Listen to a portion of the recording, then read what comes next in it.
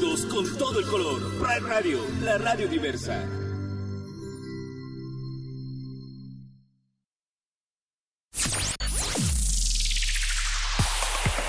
Club Lobos presenta Beat Motion.